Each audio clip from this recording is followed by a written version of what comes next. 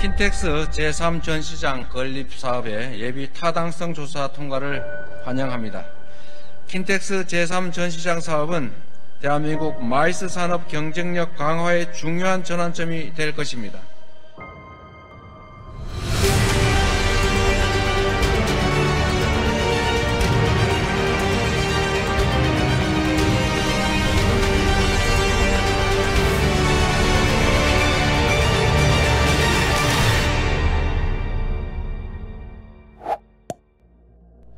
앞으로 산업의 방향도 역시 문화, 전시, 이벤트 그리고 기술 혁명의 시대로 가게 될 텐데 저는 그 중에 가장 핵심적인 에, 산업의 영역이 아마 컨텐츠 산업이 되지 않겠냐 이렇게 생각합니다.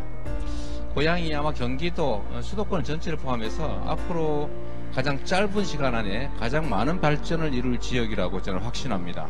거기다 한 가지를 더한다면 어, 우리 경기도 정책의 핵심이라고 할 수 있는 어, 북부에 대한 각별한 관심이 이 고양시에도 집중될 것이라고 하는 말씀을 좀 미리 드리고 싶습니다. 특별한 희생에는 특별한 보상이 필요하다라는 것입니다.